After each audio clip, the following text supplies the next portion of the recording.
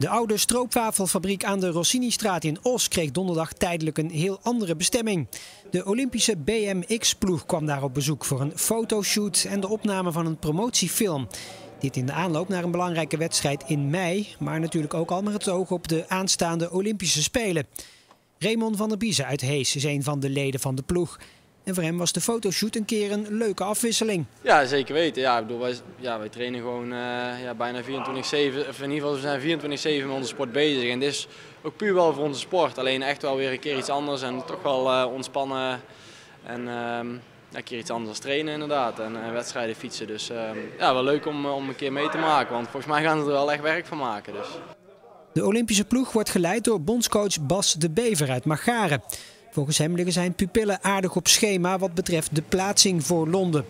Het is nog even de vraag hoeveel leden van zijn team het ook echt gaan halen. Dat ligt aan de prestaties van de komende maanden. Nou ja, het is spannend. Hè? Ik bedoel, WK's is, is, elk jaar, dat is ook niet niks natuurlijk. Daar kijk ook elk jaar naar uit, werk je hard voor. Maar wij zijn wel zo'n sport uh, waarbij we in een vierjaarlijkse cycli werken. Hè? De spelen is toch een beetje het toppunt voor onze, voor onze sport. Dus dat is, nou inderdaad, je bent weer uh, het, zeven maanden weg van, uh, van augustus en dus weer van een spelen, wat onze tweede gaat worden.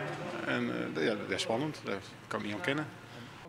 Raymond van der Biezen bereikte bij de vorige Spelen in Beijing de halve finales. Vorig jaar werd hij flink geplaagd door blessures. Dus hoe ziet hij nu zelf zijn kansen? Vorig jaar heb ik al aan de halve nominatie voldaan. Dat houdt in, um, we moeten eenmaal top 8 en eenmaal top 16 fietsen. Ik heb één keer voldaan aan de top 8, omdat ik finale heb gereden. En, um, en nu is het voor mij nog werk uh, of zaak om dit jaar nog die top 16 minimaal te fietsen. En um, ja, we zullen zien uh, of dat, dat gaat lukken, maar het vertrouwen zit er wel in. De Olympische ploeg had in afwachting van de opnames tijd genoeg om nog eens goed na te denken over dat einddoel Londen. Volgens de bondscoach moeten de fietscrossers het daar goed kunnen doen. Ik denk het wel. Uh, Kijk, vorig jaar, vorige keer in Beijing uh, hadden we ingezet op finale plaatsen. En dan komen we goed weg met de vijfde plaats. En, en, nu gaan we gewoon inzetten op het podium. En dat, dat is een reële doelstelling. Dus dan kunnen we roepen dat Nederland meedoet voor een medaille.